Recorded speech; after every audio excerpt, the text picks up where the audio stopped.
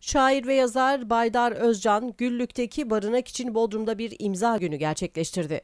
Daha önceki yıllarda UNICEF, Caritas, Hex, Pastalozzi, Bakırköy Sahipsiz Çocuklar Yurdu gibi kurumlar için yardım kampanyaları gerçekleştiren Baydar Özcan, bu kez de Milas'ın Güllük mahallesindeki hayvan barınağı için Bodrum'a bir imza günü düzenledi.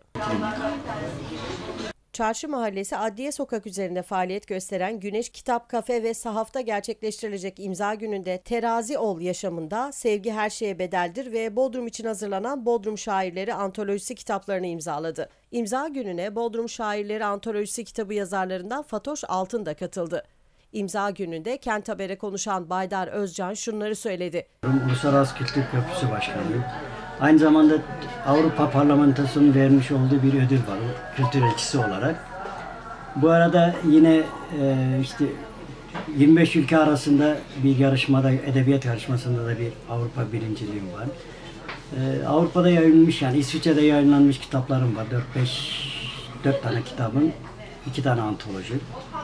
Türkiye'de de şu an 3 tane kitabım var. Terazol yaşamında Sevgi Her Şeye Bedeldir. Ve bir de Bodrum için hazırladığımız bir Bodrum antoloji, antolojimiz var.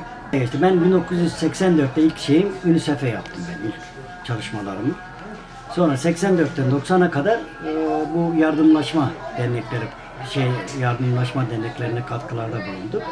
1990'da Uluslararası Kültür Köprüsü'nü kurduk ve Uluslararası Kültür Köprüsü'nün geliri de yine bu yolda yani e, yardımsever organizasyon, UNICEF gibi, Bangladeş gibi, Etiyopya gibi, Fakir Çocuklar Yurdu gibi bir çalışmalarımız var.